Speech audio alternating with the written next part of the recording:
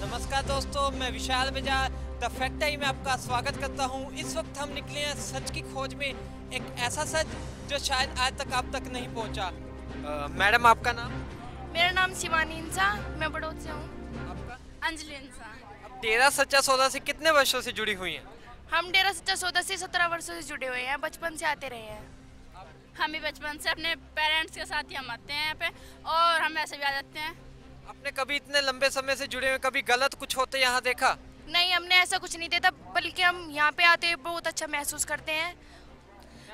हमें हम यहाँ पे गलत होता ही नहीं जब देखेंगे तो क्या जब यहाँ पे होता ही नहीं कुछ भी।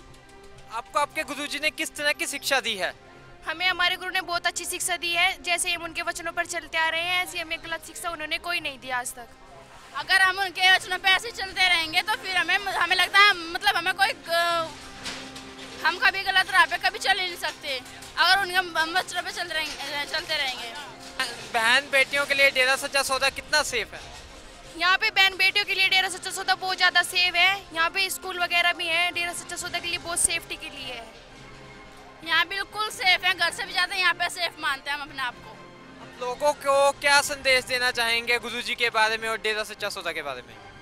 हम डेरा हम बाहर की संगत को ये संदेश देना चाहते हैं कि जो डेरे में संगत है बहुत सेफ़ है और संदेश देना चाहते हैं कि यहाँ पे कोई ऐसा गलत काम नहीं होता जैसा कि बाहर वाली दुनियादारी दुनियादार के लोग कहते हैं। वो तो हमें बा- आपको सबको बाद में आने पर पता चलेगा जब गुरुजी बाहर आएँगे ना जब पता लगेगा सबको कि क्या है क्या नहीं है। ये है डेरा सच्चा सौदा की सच्चाई। जो सुनिए आपने लोगों की जबानी, इस तरह की वीडियोस देखने के लिए जुड़े रहिए द फैक्ट आई के साथ।